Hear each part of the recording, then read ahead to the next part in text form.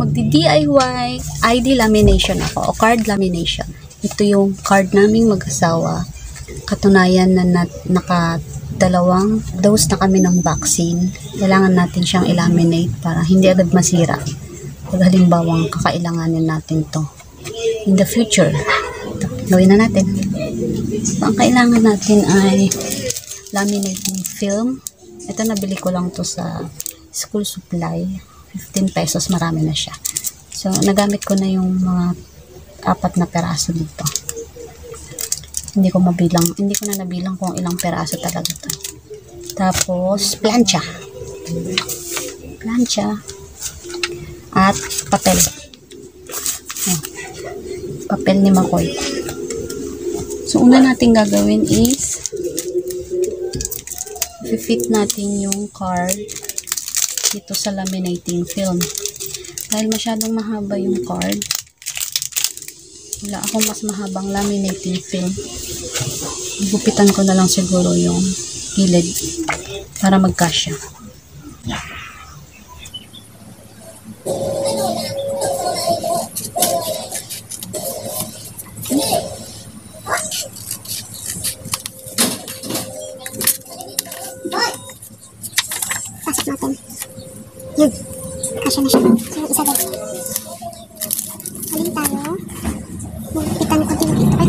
Gupitan kasi mahaba. Masyadong mahaba yung card.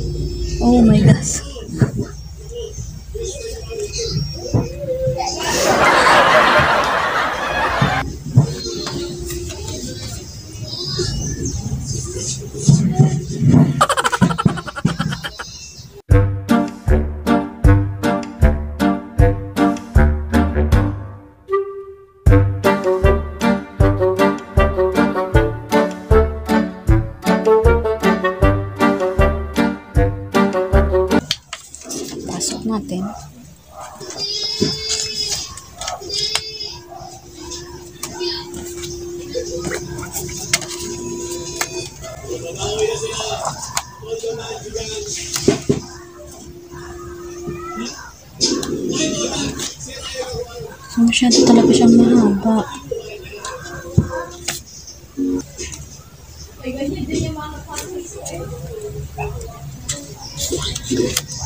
Magkaibang hospital kasi yung pinagpabakunahan namin. Kaya magkaibang card. Mas mahaba yung card niya kaysa sa card ko. Paano kaya ito?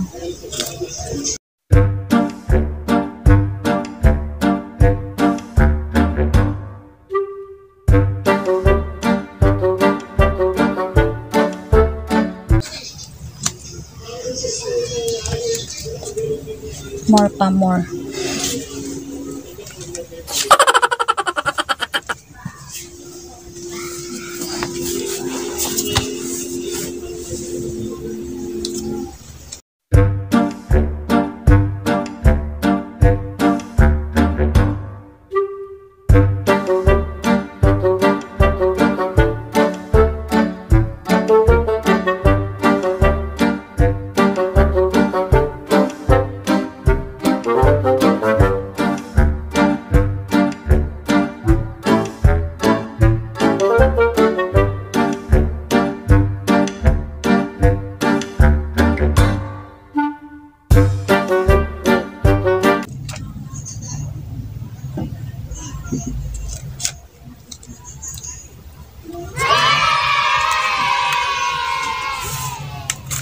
Sasaksakan natin yung plancha. Kapag mainit na yung ating plancha, loob ng papel. At plancha.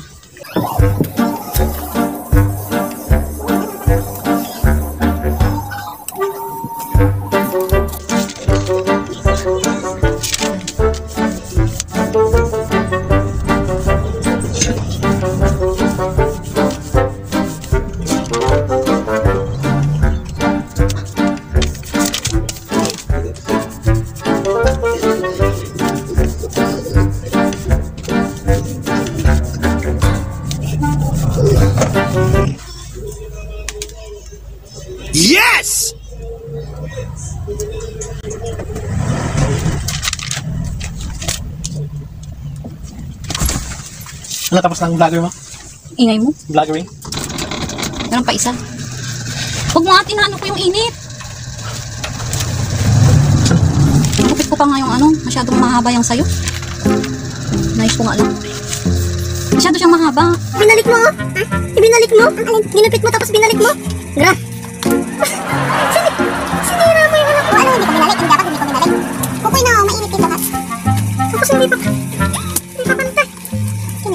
Ah, ano man?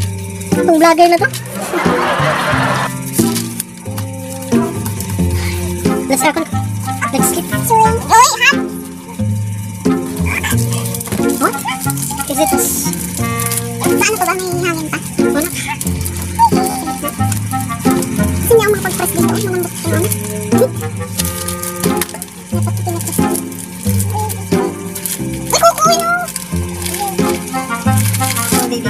No, no, no, no.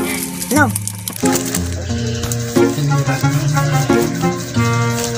Kebang-kebang pa yung pagkakain. Patingin niya.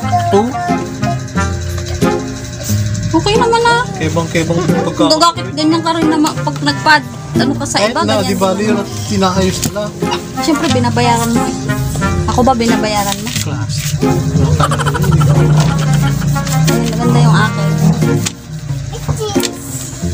Itong akin, Okay naman ah. kupit to. Kinupit mo yung address.